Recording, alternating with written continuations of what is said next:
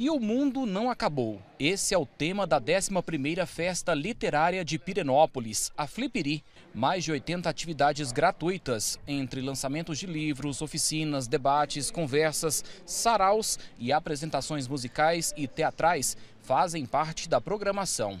Esse ano nós optamos pela esperança, por isso o tema é E o Mundo Não Acabou.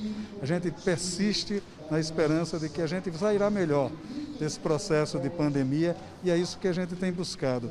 Neste ano, o evento é realizado no sistema híbrido, com atividades presenciais e virtuais.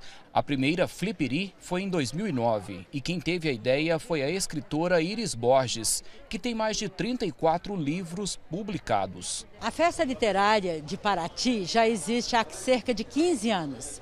E eu estava numa das edições, andando na cidade de Paraty, quando eu tive uma inspiração de que a cidade é como se fosse uma cidade irmã de Perinópolis. E eu comecei a pensar insistentemente, ter um desejo incrível de criar em Perinópolis um movimento literário. Neste sábado, a escritora lança o 35º livro, Venha Conhecer Pirenópolis, que tem uma linguagem bem didática eu tive sempre esse desejo de escrever um livro sobre Pirinópolis. E o meu desejo era apresentar Pirinópolis numa linguagem mais infantil, mais infanto-juvenil, para que as pessoas desejassem vir conhecer, atrair as pessoas para ver o que eu vejo nessa cidade maravilhosa. Dezenas de escritores estão com livros em exposição ou sendo lançados. Neste momento de pandemia né, que nós estamos vivendo, com o tema e, e, o mundo não acabou, eu acho que a literatura e a arte ela veio como um refrigério para todos nós, né? Veio acalentar nossos, nossos corações, amenizar o isolamento, as tristezas.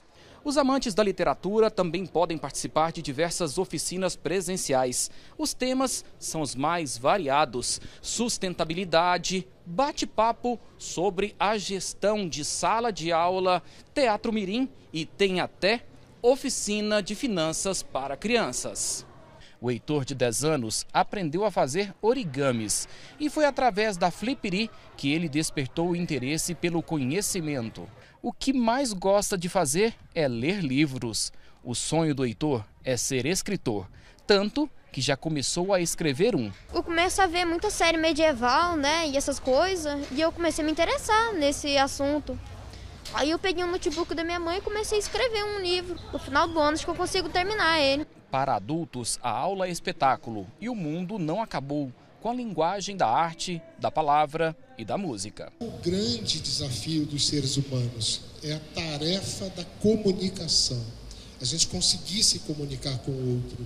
A Flipiri termina neste sábado. O evento conta também com música. Poxa, não entre nessa de mudar de assunto.